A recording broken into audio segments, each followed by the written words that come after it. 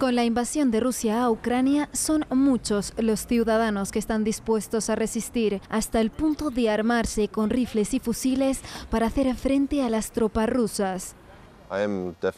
Definitivamente estoy en contra de la guerra.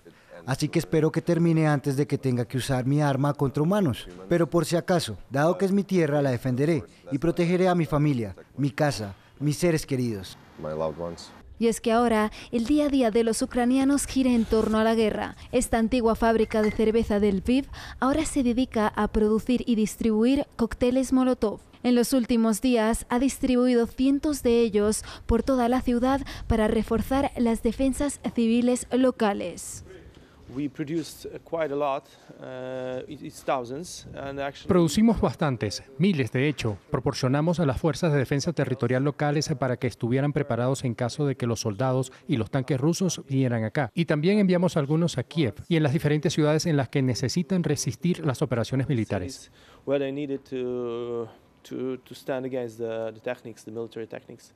El ejército ruso es el segundo más poderoso del mundo. El de Ucrania ocupa el número 22. Es inferior, con menos vehículos militares y artillería, motivo por el que el presidente Volodymyr Zelensky pidió a los ciudadanos que se armaran. Para proteger nuestra tierra seguiremos entregando armas a todos los que estén dispuestos a tomarlas, a todos los que estén dispuestos a proteger nuestra soberanía.